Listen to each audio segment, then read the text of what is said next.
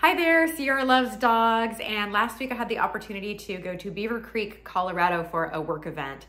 So flew into Denver, drove up to Beaver Creek, got to explore the village, had my work event, and then drove back and flew home. So I divided up into two segments. This is segment one with the first day of my trip. Thought I would share some of my experience with you, so enjoy.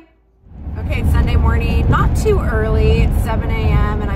to the airport for the third time. I'll be at the airport in the last three days. So I was at the airport Friday, came home Saturday, home for 17 hours, and I'm heading back.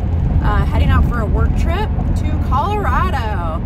This is an altitude challenge because I get in at whatever it is, 5,280 feet or, you know, the mile high uh, state or mile high city, and then drive up to, I don't even know, like 15,000.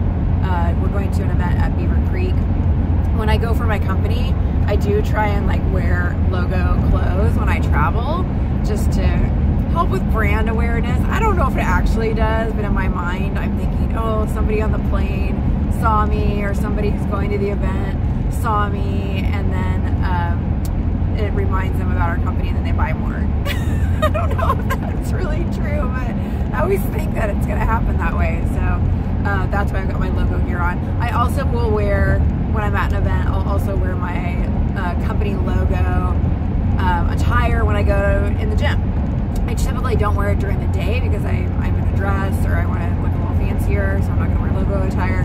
But uh, I, I, will also wear it in the gym and just show people that Corfac works out. because of the logistics of travel for this event, there's only one work day, which is Monday, but uh, it's bookend by two full travel days. So uh, the flight out there, obviously, you know, getting to the airport, and then um, renting the car, and then the drive is a, is a solid two hours, maybe a little over two hours. Here's the fun thing though. I have a really good friend who used to live where I live now, who moved to Colorado, and I'm gonna pick her up and she's gonna join me on the drive and basically sit in the hotel room when I go to all the meetings and everything. We'll have a little bit of free time together, but uh, basically she's coming for the drive and she's gonna, she can uh, work remotely, so she's gonna work out of the uh, hotel room when I'm in meetings on Monday, and then she'll drive back down with me on Tuesday. So it'll be super fun to get to spend some time with her. All right, it's 7.30. I made it to the airport. It's like oddly quiet here. Like there aren't any people. it's almost like when I came back on my flight on Friday the 13th, 2020, and I came to the airport and it was like abandoned, except the parking lot's full. So I'm not that worried. It just, the mood feels quiet. I guess because it's early and it's Sunday. Okay, yo, Denver Airport's a madhouse. It always is. trying to find some food, kind of starving. Just arrived and it's about noon here and I haven't eaten yet.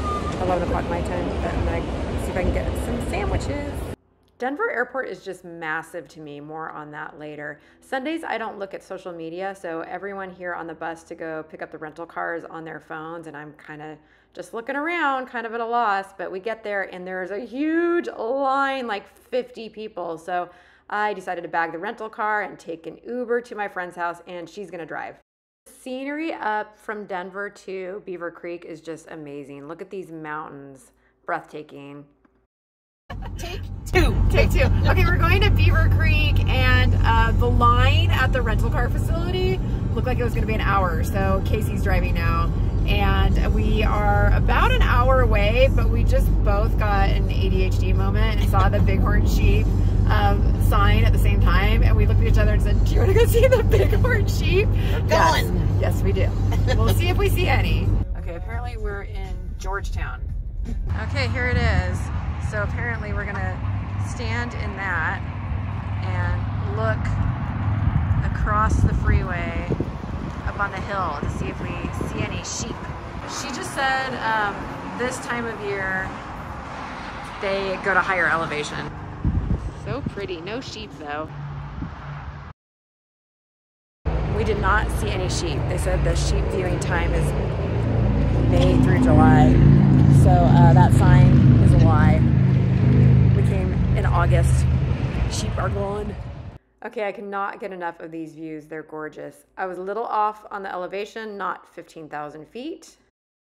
Made it to our hotel. Isn't it gorgeous? Look at these fake flames at the entrance. I might have to come back and play with those later. Made it to our room, and this is our balcony. It's a weird step up, about eight inches to get up onto the balcony. But look at this view all the pine trees and gorgeous blue sky. I loved it. We found where my event's being held and set up for the next day, and then walked around the village. Lots of shops and people playing cornhole and restaurants. Super cute. The slopes are being used just for gondola rides at this point, but the landscaping was beautiful. Okay, we're gonna go get some food in the village. How do we get to the village? Okay, I gotta come sit in this giant snowball because it's calling my name. We're still trying to find where we're gonna have dinner. Look at this cute little creek in the middle of the village. I love it. Okay, we are at Antlers and, what's the name of this place? Antlers and something. Oh, Ant- Alpine. Alpine. Alpine. and Antlers.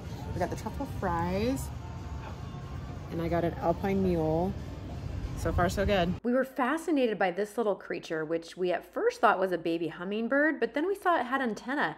We looked it up. It's actually a moth. It's called the hummingbird moth. Look at the view from the restaurant. The sunset was just amazing. These colors are gorgeous. After dinner, we walked back through the village to the hotel for s'mores. Outside at the fire pit, and they give us sticks and a little goodie bag with marshmallows in it. So we're gonna make some s'mores here by the fire. I got myself a little Bailey's from the bar, and we're ready to go. Okay, I'm making my my uh, marshmallow now. I love that they gave me wipes. That was really considerate. I told you I was gonna have to come back and play with that fire in the entryway. Guess what happened the minute we got back to our hotel room? Whoa! Look at the cool still frame from my video. Turned out awesome. Well, that concludes day one and part one of my work trip to Colorado. And if you are not already subscribed to my channel, um, I've been doing some decluttering and some random vlogging. And uh, this was obviously more of a, a vlog type style. I may be headed that direction. So if you like that, definitely give it a thumbs up. Would love for you to consider subscribing. And if you enable those notifications, you will be notified when part two is posted, which will hopefully be within the next week. Thanks for staying to the end, and I'll catch you next time. It makes me laugh when I do that. I don't know why I do it.